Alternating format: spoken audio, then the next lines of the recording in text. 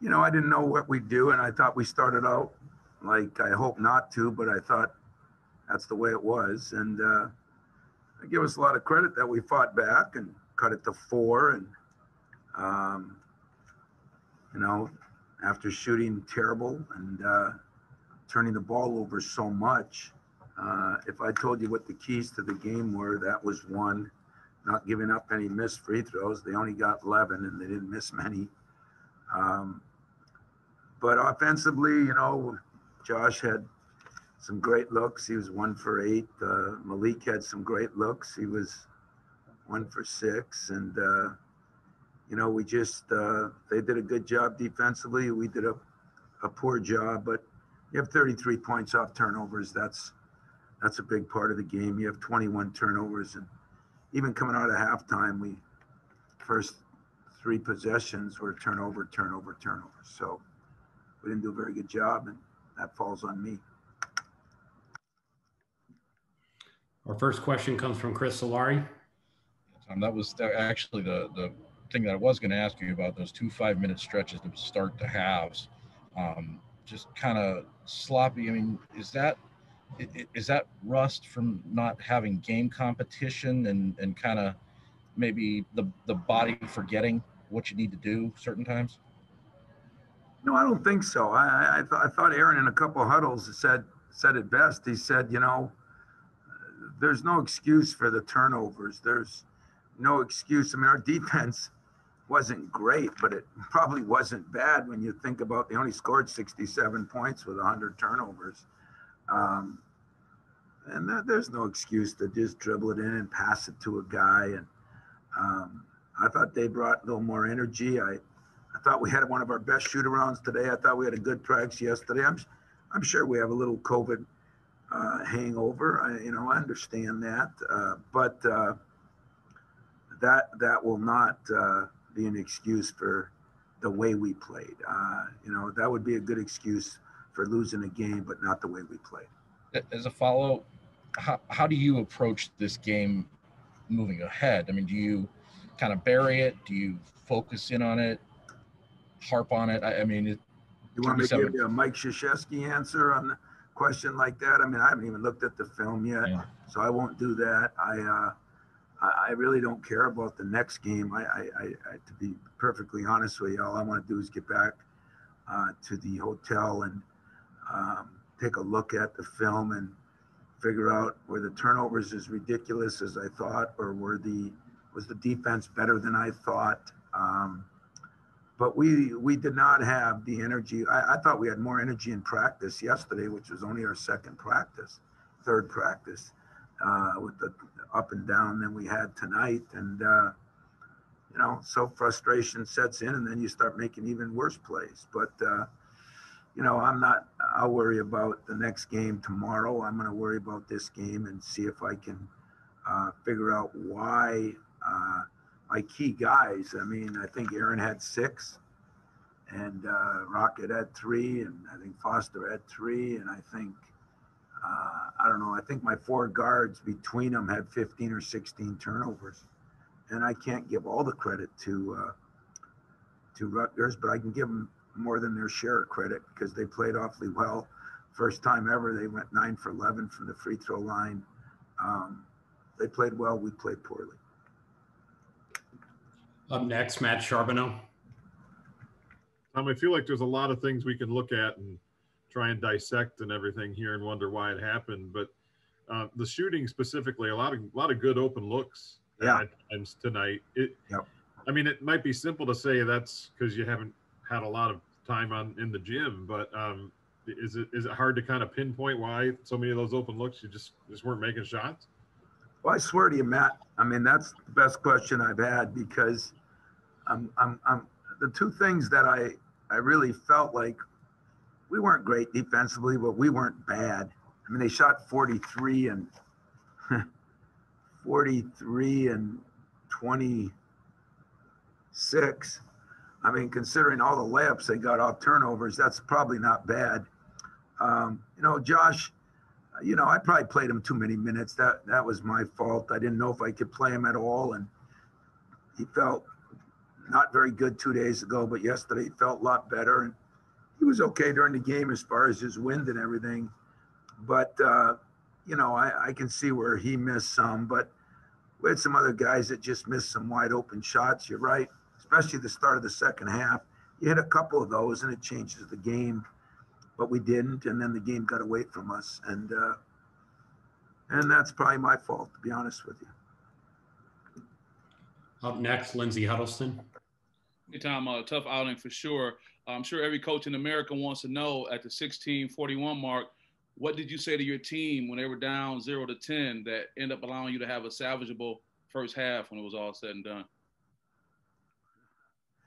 Uh, like a true positive question. I appreciate that. You know, I, I told them that we we just got to get it one one play at a time because we were trying to get it back too fast. We were just playing a little bit out of control and and we weren't moving the ball from side to side. And we talked about it all week. I mean, Aaron went over it before the game and even after the game said the same thing. You know, we talked about it all week that we got to move the ball because we didn't think they were as good defensively. They give up 45%. And, uh, but we just didn't move it. We a lot of one on one. We didn't throw back. We didn't do the things that I thought we could do. Is it because some of those guys hadn't practiced at all? Uh, is it because uh, we just did a poor job, or is it because you know Rutgers played well and and Rutgers deserves some credit? Steve's a great coach, and they did a good job. So I, I just told them, hey, we get it back. One, you know, we had missed a couple layups. Um, Thomas Kithier missed the layup. Uh, I think it was uh, Rocket missed a wide open shot, and somebody else did. And I said, we're getting good enough shots. And then I thought we went into a stretch where we did move the ball better and got some shots, and we started making some, got our break going. Second half, we just reverted back to one-on-one play, and I think they took us out of the game, and give them credit for that. Uh, thank you. Up next, Bob Wojnowski. Hey there, Tom. How you doing, Bob? Good, thanks. Um, you, you've had teams before and stretches before in the middle of a season that things have gone awry a little bit, and you've pulled it together always. Um, but this is a unique season, obviously a unique situation. How how difficult will this one be to pull together, and and and are you confident you can do it? You know, I, I, said last week when I kind of went off on everybody because I don't think anybody realizes how hard it is during this pandemic, but I thought it was pretty apropos as we got on the bus today after our testing, and a couple guys came out and said, first time I ever saw it, they said, I'm not positive.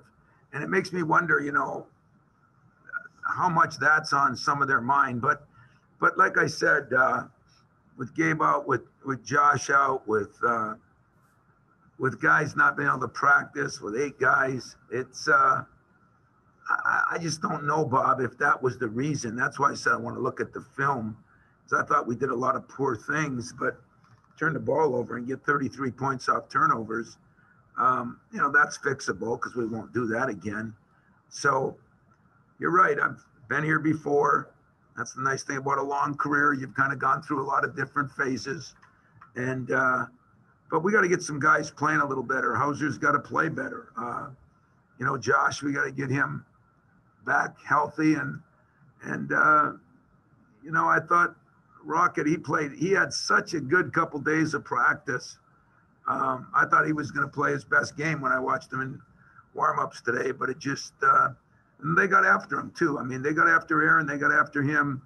Aaron's been uh, he's been great.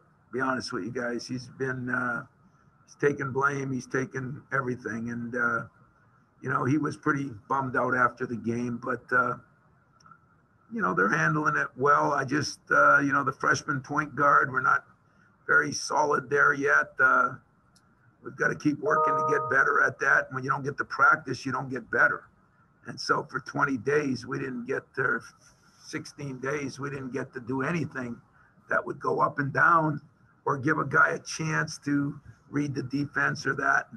Sure, that hurt us some, but that's still not a reason you don't, that you turn the ball over like we did. I just, that has nothing to do with that in my mind. Thanks. hmm All right, we have two more questions. We'll start with Brendan Quinn. Tom, you mentioned earlier uh, frustration sets in and you start making worse plays. And, and I, I'm sorry, I, I couldn't hear you. you said earlier when frustration sets in and then you start making worse plays. And that, that does seem that has kind of been a thing that has happened in games like this, right? Where things just kind of compound. And I wonder with this group, um, what's kind of the dynamic of, I don't know, you know, enforcing positive thinking at this point and just trying to, you know, not let, not not, not let things snowball. Um, Yeah, that's a good point, you know, and, and, uh, you know, I think one of them, you know, Joey not playing a year and Josh not playing for two years. And, you know, there's, there's just things that get frustrating. I mean, Josh has spent so much time trying to come back. And, uh, I think he thought tonight because he had a good day of practice yesterday, everything was going to be the norm and he could do what he could do. And that's just not the way it works. It wasn't his lack of effort, that's for sure. It was just lack of reps, you know, and and he's missed two years of it. So that's a little frustrating. And then when our, you know, kind of somebody at the point to settle that down. I mean, you know, we'll get there. I, I do think that we'll play better as we get back practicing a little bit. Although there's not a lot of days to practice, especially the way the schedule is now going to be. But uh, we won't play like this again uh, as far as turning the ball over. I promise you that. So, you know, those are the frustrating things that uh, frustrate fans, frustrate coaches, frustrate players. But I'm trying to keep it all into perspective a little bit. And this was a wicked 20 days. Um, some people adjust to it, just depends who your personnel is. But not being able to get, you know, those young guards um, involved, and especially like Josh, he's not a young guard, but he's a guard that hasn't played for two years. So all of them are young and experienced as far as what's happened. And I think we showed that tonight. I mean, we just did not play very well at that position, uh, any of the guard positions, and that's why you have those turnovers.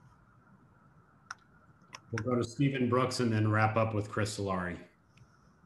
Hey, Tom, you mentioned uh, this week that, that Marcus had shown you some things in these last couple weeks. Just curious of your evaluation of him tonight. Marcus first half was our best player.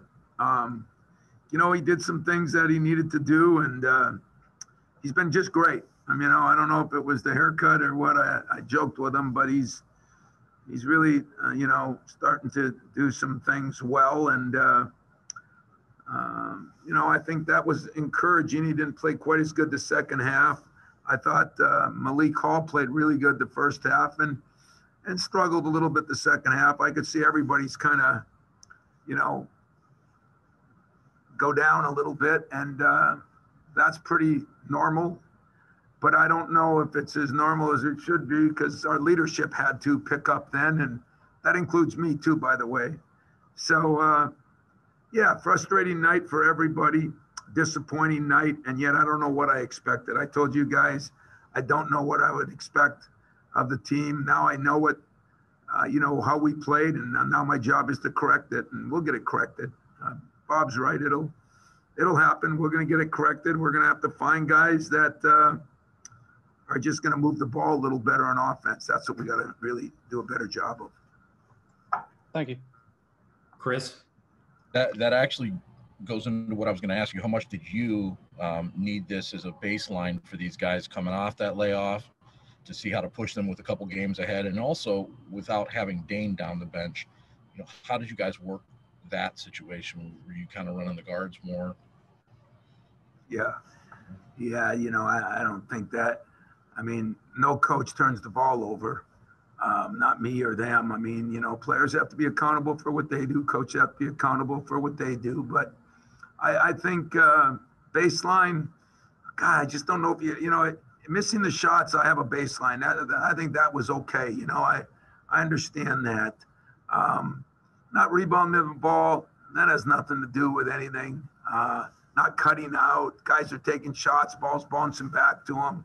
I mean, maybe that's not playing for a while, but that's an instinct that a player should have. And and I was disappointed in that. But just just the passing and and, and turnovers, and maybe as I talk to more coaches, maybe uh, maybe I got to be more understanding on that. Maybe that is part of it. Uh, there's not many people that go 20 days, but at the same time, nobody's going to feel sorry for you. and uh, I'm sure not, and don't expect anybody out there to. So we just gotta get back, watch the film, try to figure out, and then we'll get the game plan going for our next game. But it's going to be to play a lot harder. It's going to be a lot, play a lot smarter. It's going to be taking care of the ball, and uh, those will be big keys. I mean, the offense. I, I loved what Aaron said in the huddle about nine times. You know, okay, we're not playing very well on the offensive end, but you know, it it really was the defensive end or the rebounding. Um, they only had I don't know how many offensive rebounds they ended up with 13, but they scored on a lot. They scored on a lot of offensive rebounds and they scored on a lot of turnovers, and that's easy ways to score. Um, so, you know, it, it really wasn't the defense as much as it wasn't finishing the job. And then at late, you know, they started making threes and hit a few of those and give them credit. I mean, like I said, I think Steve's one of the better coaches in this league, and he did a good job with his team. He's benched a couple guys, he's moved a couple guys around, and I think he got their attention. And uh, you know, it wasn't that long ago. This was a top 10 or 15 team in the country. So, um, not a surprise that they played well. They had a lot on the line too, coming off a big win on the road. Uh, little disappointing that we did not execute the things that I thought were keys that I think we could have. Bad shot or missing shots. Uh, there weren't even a lot of bad shots. Missing shots. Yeah, I can I can stomach that. I just can't stomach some of the other things. So that's what we'll try to fix.